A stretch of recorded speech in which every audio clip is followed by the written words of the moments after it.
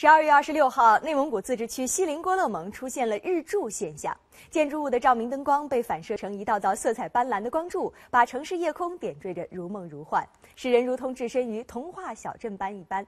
日柱现象从夜间的十九点三十分出现，持续到了二十一点三十分。据了解，当冰晶从高层的云落下时，受温湿度、空气阻力等多种因素的作用，有时会逐渐变成平板状。这些冰晶在落到地面时几乎是水平的，阳光或月光被冰晶多重反射之后，就会产生日柱效应。